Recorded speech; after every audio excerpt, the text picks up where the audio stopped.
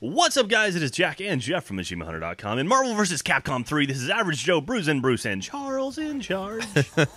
so uh, these are all the combo, like the super combo, triple team up, master pancake, Hyper effects. combo. Uh, yeah. Okay, so what we're gonna do is I picked Deadpool, Iron Man, and Wolverine just because that's how I started out. Um, turns out Those you are want- your boys. Yeah, those, those, are my, those are my home dogs.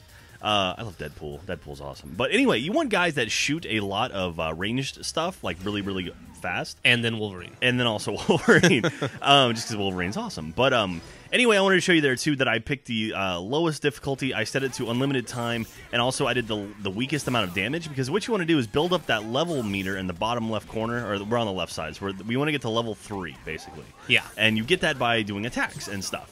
Once you get it out to level three, you're gonna do a like a, a fireball forward and then hit your uh, whatever your special attack is. For me, I hit the I think it's right bumper. Yeah. that sound right?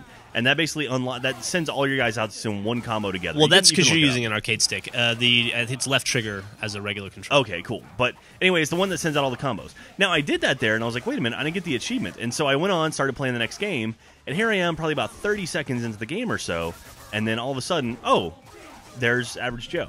Yeah. Which is like the lowest of the three combos. Land of Beautiful combo. I think it's like 35 hits, something like Something like around, that, around yeah. 35, 40, something like that. So I got that in that first round. Now here I am in the second round, still going. I got my level three up again, and this time I got real close with Wolverine because the first time I didn't hit him as much. And there we go, look at that, up to 85, and I got the marvelous combo there. well, Well, in theory, you got it. well, that's what it said. It said marvelous. yeah, but uh, I, you know, it's Okay. taking like an hour. There Well, you go. Anyway, yeah, about half an hour later, we finally get at this pop, and uh, I, got, I got the healing factor there too. But land an incredible combo, which I guess falls somewhere between 85 and 40. Sure. I don't know exactly what it is.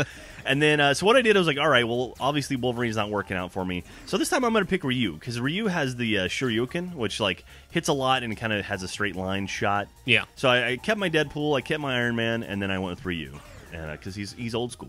There you go. Now this is truly a crossover. I've got Deadpool, Paying Iron Man, homage and Ryu. to the old school. And uh, so now I'm going to build up my three. And this time, actually, I got so I down this guy because you want to have someone with full health. I've got uh, Doctor Doom here. I knock a few shots into him, and then I throw my combo. Look at that, all right in his face, and boom, 92, 92. hits. Good enough. You needed 91. Uh, yeah, I think you, yeah, you need over 90 to get your uh, whatever it is. What is it?